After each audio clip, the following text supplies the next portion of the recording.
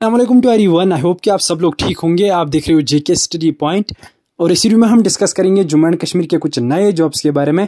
तो फाइनली जेके बी की तरफ़ से नए तहसीलदार पोस्ट के लिए रिक्रूटमेंट आ चुकी है। पचास प्लस पोस्ट कन्फर्म हो चुके हैं। आप सब लोगों के लिए गुड न्यूज़ है। एलिजिबिलिटी क्या रहेगी इन पोस्ट के लिए? अप्लाई किस तरीके से आपको करना है? कब अप्लाई करना है? और मैं आपको बता देता हूँ, ये पर्टिकुलरली परमानेंट जे के गवर्नमेंट जॉब्स रहेंगे। तो वीडियो ज़रूर एंड तक देखना। सबसे पहले आप सब लोगों से रिक्वेस्ट रहेगी कि अगर आपने अभी तक हमारी चैनल को सब्सक्राइब नहीं किया है सब्सक्राइब ज़रूर करना। इसके अलावा मैं आपको बता देता हूँ कि आप हमारे व्हाट्सएप टेलीग्राम पर जुड़ सकते हो। लिंक मैंने डिस्क्रिप्शन में दी हुई है ज्वाइन ज़रूर करना। बाकी जितना हो सके इस वीडियो को शेयर करना अपने दूसरे दोस्तों के साथ, ताकि उनको भी पता चल जाए इन पचास पोस्ट के बारे में और वो आज से ही इनके लिए प्रिपेयर करना स्टार्ट कर दे। तो चलिए रू को स्टार्ट कर लेते हैं।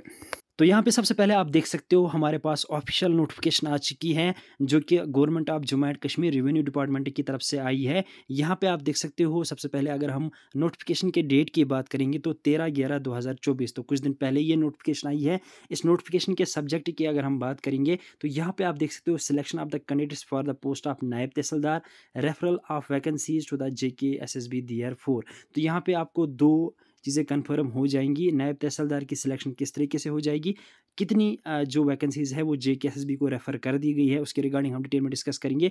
इसके बाद एजुकेशन क्वालिफिकेशन के रिगार्डिंग डिस्कस करेंगे और इसके लिए अगर आपको प्रिपेयर करना होगा वो किस तरीके से आपको करना है, उसके रिगार्डिंग भी हम डिस्कस करेंगे और जो ऑफिशियल नोटिफिकेशन जे की तरफ़ से आने वाली है इस रिक्रूटमेंट के लिए, वो कब तक आ जाएगी? तो यहाँ पर मैं आपको बता देता हूँ। सबसे पहले अगर हम बात करेंगे पोस्ट के रिगार्डिंग तो यहाँ पर आप देख सकते हो, इसमें टोटल जो पोस्ट है वो फिफ्टी है, लेकिन यहाँ पर जो फिफ्टी पोस्ट है, इसमें थर्टी एट लिखा गया है। जहाँ तक मैं इस चीज़ को समझ रहा हूँ कि थर्टी एट वैकेंसीज कश्मीर के लिए रहेंगी और ट्वेंटी वैकेंसीज जम्मू के लिए रहेंगी। बाकी जब नोटिफिकेशन आएगी रेवेन्यू डिपार्टमेंट की तरफ़ से, जब इसको क्लियर कर दिया जाएगा जे के और उसके बाद यहाँ पे मैं आपको बता देता हूँ कैटेगरी वाइज ये पोस्ट निकाले जाएँगे डिस्ट्रिक्ट वाइज भी हो सकता है तो वो आपको नोटिफिकेशन को देखने के बाद पता चल जाएगा। इसके अलावा यहाँ पे मैं आपको बता देता हूँ इसमें कुछ चीज़ें लिखी गई है। About the selection of the eligible candidates against the set post in the department on merit base इसके लिए एग्ज़ाम होता है। यहाँ पे मेरिट बेस लिखा गया है, लेकिन जो मेरिट है, वो आपका एग्ज़ाम का देखा जाएगा। इसके लिए आपका कन्फर्म जे के तरफ़ से एग्ज़ाम होगा। और यहाँ पर अगर हम एलिजिबिलिटी की बात करेंगे तो मैं आपको बता देता हूँ अगर आपको जे के एस एस बी में नायब तहसीलदार पोस्ट के लिए अप्लाई करना होगा, इसके लिए एलिजिबिलिटी की बात करेंगे, सबसे पहले आपकी एज एटीन प्लस होनी चाहिए। इसके अलावा यहाँ पे आप डोमिसाइल आप जे एंड के होनी चाहिए। इसके अलावा आपके पास ग्रेजुएशन पास होना चाहिए। ग्रेजुएशन पास कैंडिडेट्स के लिए ये रिक्रूटमेंट रहेगी, वही सिर्फ़ अप्लाई कर सकते हैं। इसके अलावा जो रूल्स रखे जाएँगे, यहाँ पे आप देख सकते हो S dot zero one seven six of two zero two four five three two zero two four के तहत जो रिजर्वेशन रूल्स बनाए गए हैं रिजर्वेशन पॉलिसी इसमें नई अप्लाई होगी, आपको ऑलरेडी पता होगा एस टी और एस टी वन इंट्रोड्यूस किया गया था और ओपन के लिए सीट्स कम कर दी गई। तो उसी के हिसाब से इसका एक फ्रेमवर्क बनाया जाएगा, एक टेबल बनाया जाएगा और उसमें इन वैकेंसीज को फिल किया जाएगा।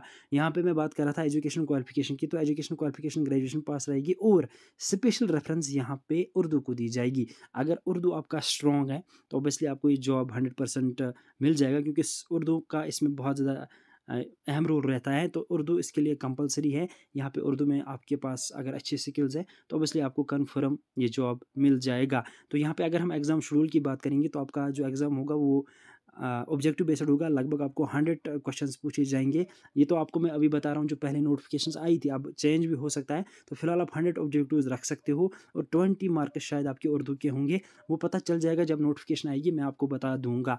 अब यहाँ पर अगर हम बात करेंगे सिलेबस की तो मैं आपको बता देता हूँ, पहले भी नायब तहसीलदार के लिए पोस्ट आए थे। यहाँ पर अगर हम पटवारी पोस्ट की बात करेंगे, वो आए थे तो वो सिलेबस आप अभी पढ़ सकते हो। क्योंकि मैं आपको बताता हूँ, लगभग सेवेंटी परसेंट सिलेबस सेम होता है। तो सिलेबस को आप प्रिपेयर कीजिए। अगर आप सोच रहे हैं कि इस नोटिफिकेशन में हम एप्लीकेशन फॉर्म भरेंगे तो आज से ही इस पर आप काम कीजिए, क्योंकि मैं आपको बता देता हूँ, ये नोटिफिकेशन विद इन वीक आपको देखने को मिल जाएगी। इसके लिए जल्दी ही, जल्दी नोटिफिकेशन निकाली जाएगी। टू ज़ीरो टू फाइव आने से पहले ही ये नोटिफिकेशन आएगी। मैं आपको कन्फर्म बता देता हूँ, आपको ये नोटिफिकेशन इस मंथ या दिसंबर में कन्फर्म देखने को मिल जाएगी। ये पोस्ट कन्फर्म आने वाले हैं, क्योंकि इनके लिए ऑलरेडी ऑर्डर भी इशू हो गया है। तो ओबियसली इस रिक्रूटमेंट का वेट मत कीजिए, आप पहले से ही प्रिपेयर कीजिए और यहाँ पर ये पोस्ट कन्फर्म हो गए हैं और ये पोस्ट कन्फर्म आ जाएँगे। क्योंकि यहाँ पर आप गवर्नमेंट ऑर्डर भी देख सकते हो संजीव कुमार का। इस तरीके से ये जो कॉपी है, ये कोई फेक कॉपी नहीं है, ये ऑरिजिनल है, ये मैंने क्लियर भी कर दिया। तो ये वैकेंसी जल्दी आने वाली है प्रिपेयर करना स्टार्ट कर दीजिए। बाकी जितना हो सके वीडियो को शेयर कीजिए। ये इन्फॉर्मेशन इन्फॉर्मेटिव लगी हो तो वीडियो को ज़रूर लाइक कर देना, हमारी चैनल को सब्सक्राइब करना। बाकी हमारे साथ व्हाट्सएप पर ज्वाइन ज़रूर करना। मिलते हैं किसी और वीडियो में किसी और टॉपिक के साथ, तब तक के लिए अल्लाह हाफ़